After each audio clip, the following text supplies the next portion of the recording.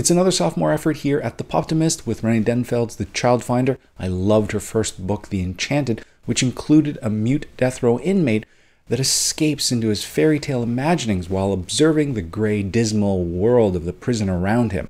With The Child Finder, Denfeld once again leans on the idea of escaping into fable, um, relying on the bright, optimistic language of make believe and wonder. We're introduced to Madison Cottle. She is five years old when she is out looking for the perfect Christmas tree with her mother and father in the woods of the Skookum National Forest in the mountains of Oregon.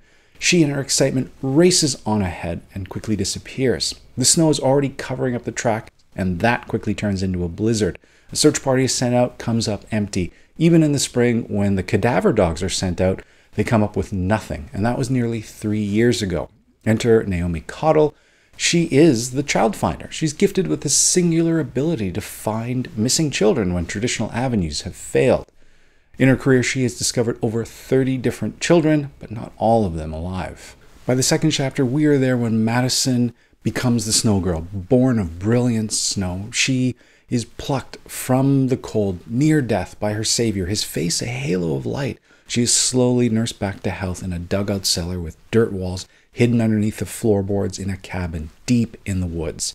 Snow Girl is how Madison delineates her life before with her new horrible reality, and she quickly learns the rules of her new existence.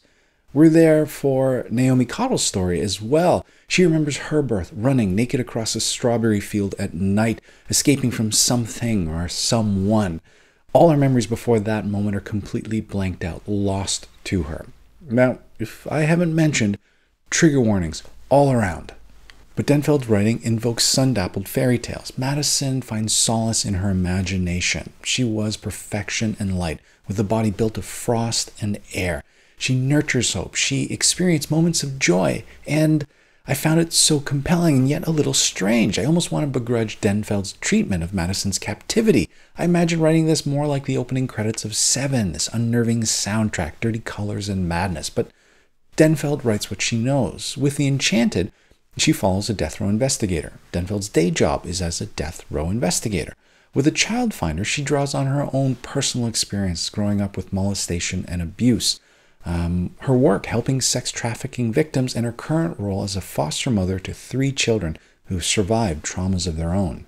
Once again, I am in love with the way Denfeld writes, but then the story diverges. Naomi takes on another case while she's working the present one, something unusual for her, and it seems sort of tacked on as far as the story goes. It's this uh, unnecessary tangent that needlessly prolongs the story, and I'm worried that Denfeld isn't going to be able to carry this thing until the end. The ending is great, but that middle section is some tough slogging, sticking with Madison and her captor. And I had a hard time with that middle section, but it may not entirely be the writing's fault. By now, you're probably familiar with everything going on around Harvey Weinstein. He is just the latest in a long string of powerful men abusing their positions of power to prey on women, joining the likes of Bill Cosby, Bill O'Reilly, uh, Roger Ailes, Travis Kalanick, Dov Charney, uh, here in Canada, Jian Ghomeshi, and Oh, yeah, the President of the United States. I mean, not to conflate the kidnapping and abuse of a five year old child in a work of fiction to the 30 years of systemic sexual harassment and assault by a man in a position of immense power and influence, but it's not like they're in completely different ballparks here. And I can't help but think of a quote commonly attributed to Margaret Atwood Men are afraid women are going to laugh at them. Women are afraid that men will kill them. It's the sexualization of vulnerability, and it falls an altogether common MO. Men preying on women that are young and powerless, so they're somehow implicated if they say yes and punished if they say no.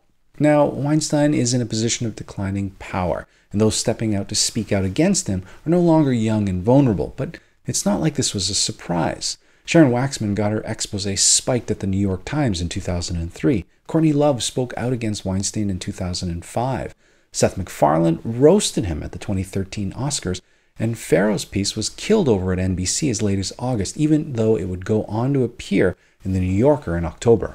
Here in Canada, Jian Ghomeshi was a known sexual harasser amongst the Whisper networks. He was a well loved host of a national radio show covering arts and culture when he was brought to trial for allegations of sexual harassment and assault.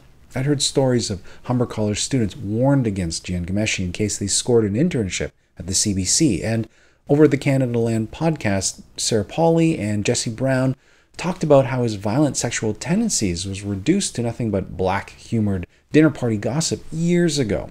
Now, the case against Jian was uh, eventually sent to trial, and his accusers were dragged through the mud. Their judgment questioned, their testimonies poked at. It got to the point where Sarah said that if you found yourself in the similar cases, the Jian accusers, and you had lawyers who knew and loved you, they would 201 unequivocally tell you not to testify, not to stand up or speak out, that it would be ultimately an impossible, despairing, and demoralizing task.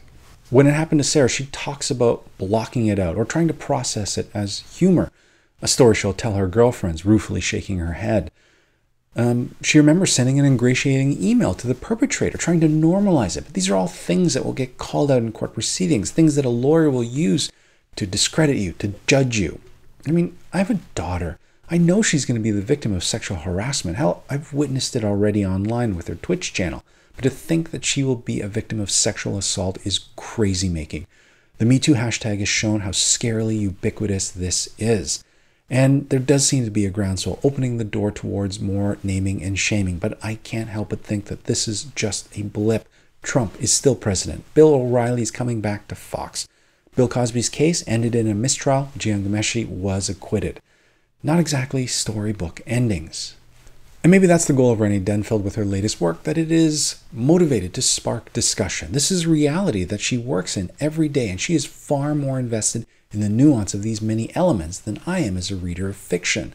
My need for this tight, unsympathetic story arc is at odds with her need to tell a story that redeems victims, provides hope, and points to bright possibility. This is more than just a story for Rene Denfeld. This is an acknowledgement of others who have survived, an acknowledgement of her past and the past of her children. And it is a promise of something better. So I realize this has been a bit of a downer tangent that I've gone on. So, you know what? When I get in those places, I find comfort in a cigar, a glass of whiskey, some online poker just to decompress. What about you guys? What do you do? What rituals do you have to find comfort that isn't just reading? I'd love to know in the comments below. But in the meantime, I hope you all have a great week of reading. We'll talk to you soon. Bye.